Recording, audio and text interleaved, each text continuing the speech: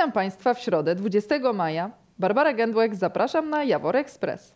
Powiatowa stacja sanitarno-epidemiologiczna w mieście informuje, że obecnie potwierdzono 12 przypadków zakażenia koronawirusem, a 29 osób przechodzi kwarantannę nałożoną decyzją administracyjną. 63 osoby są objęte obserwacją epidemiologiczną, a jedna osoba jest hospitalizowana.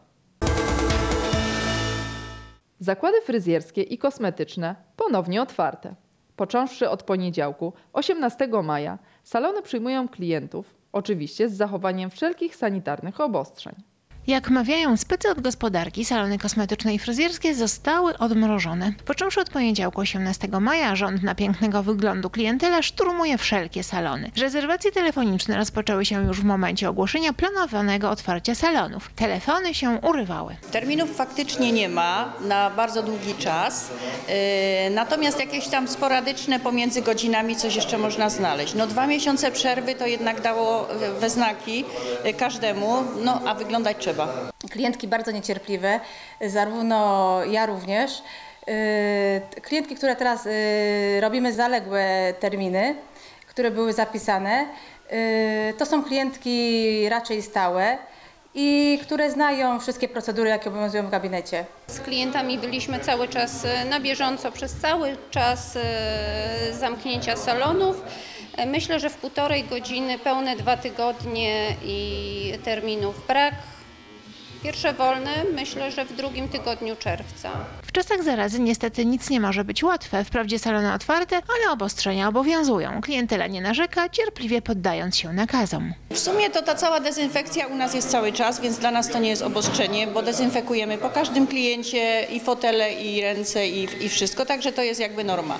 Natomiast y, to, że nie można podawać kawy, no jest to takim y, pewnym utrudnieniem, no bo wiadomo, u fryzjera każdy lubiał sobie posiedzieć, pogawędzić. W moim przypadku się dużo nie zmieniło, bo my jako kosmetyczki jesteśmy wyedukowane na tyle, y, te procedury sanitarne zawsze były bardzo rygorystycznie przestrzegane przez Sanepid.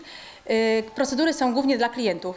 Dla klientów co się zmieniło? Dezynfekcja rąk, y, wypełnianie ankiet, y, pomiar temperatury ciała, mm, rękawiczki, maseczki, zalecenia takie jak pleksa, terminy zapisujemy się zdalnie. Wiele procedur, które teraz zostały wprowadzone, było normą, więc dla nas to nie są jakieś duże zmiany. Mamy duże, duży salon, 120 metrów, więc może u nas przebywać e, 6-7 osób spokojnie i zupełnie nic się nie dzieje. To szalony tydzień, skwitowała jedna z pań. Zaległe terminy sprawiają, że klientela przychodzi od rana do późnego popołudnia i tak codziennie. Jednak wygląda na to, że wszyscy są zadowoleni. Klientela, ponieważ jej wygląd się wyraźnie polepszy, a fryzjerzy i kosmetyczki z przyczyn wiadomych. 100 lat temu, 18 maja 1920 roku w Wadowicach, przyszedł na świat Karol Wojtyła, człowiek, który został papieżem i papież, który pozostał człowiekiem.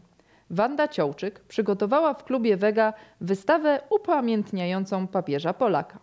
Witam Państwa w klubie Wega w Ciężkowicach i zapraszam do obejrzenia wystawy poświęconej pamięci wielkiego Polaka, obywatela świata, świętego Jana Pawła II, człowieka, który został papieżem i papieża, który pozostał człowiekiem.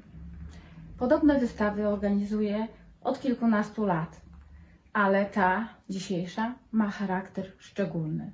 Odbywa się w setną rocznicę urodzin Karola Wojtyły, który przyszedł na świat w Wadowicach 18 maja 1920 roku, a odszedł do domu Pana w Watykanie 2 kwietnia 2005 roku. Aby uczcić stulecie narodzin Karola Wojtyły, Sejm Rzeczpospolitej Polskiej ustanowił rok 2020 rokiem Jana Pawła II.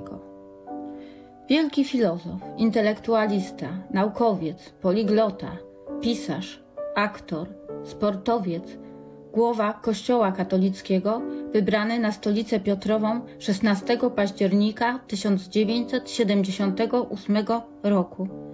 Wreszcie święty, wyniesiony na ołtarze 27 kwietnia 2014 roku.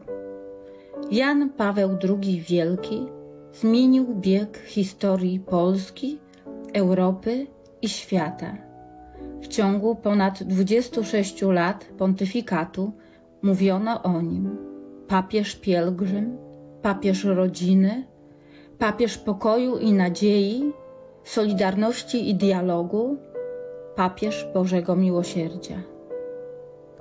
Cierpiał na oczach świata, uczył jak wybaczać, pokazał nam, jak pięknie żyć i jak godnie odejść do domu Ojca. Święty Jan Paweł II jest także honorowym obywatelem miasta Jaworzna. Tytuł ten otrzymał z racji historycznych zasług oraz jego związków z naszym miastem, datujących się od czasu, gdy był biskupem, kardynałem, metropolitą krakowskim. Honorowe obywatelstwo zostało mu przyznane uchwałą Rady Miejskiej w Jaworznie z 15 października 2003 roku i wręczone w Watykanie kilka dni później przez delegację jaworznickich samorządowców, wśród których znaleźli się Bogusław Śmigielski, Andrzej Węglarz i Janusz Ciołczyk.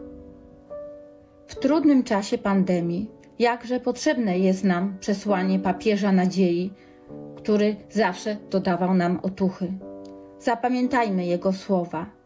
Niech nasza nadzieja będzie większa od wszystkiego, co się tej nadziei może sprzeciwić. Jego misja, jego dzieło zmieniły historię.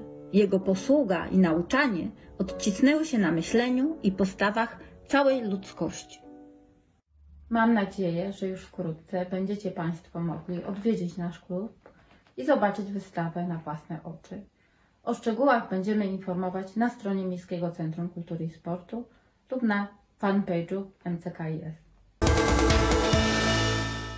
W dzisiejszej rozmowie dnia gościmy Jarosława Sawiaka, historyka i badacza dziejów Długoszyna. Jeżeli sobie porównamy teren dzisiejszego Jaworzna, ten obszar miejski dzisiejszego Jaworzna z tymi ościennymi miejscowościami, miasteczkami, niekoniecznie sąsiadującymi bezpośrednio, ale jakoś tam współpracującymi z Jaworznem w przeszłości, no to w Jaworznie jest bardzo ubogo.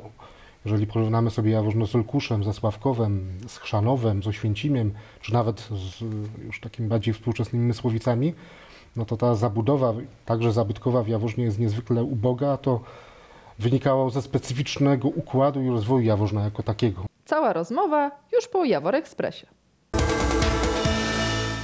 Wczoraj o godzinie 20 miała miejsce premiera nowego singla sióstr Katarzyny i Ewy Goławskich.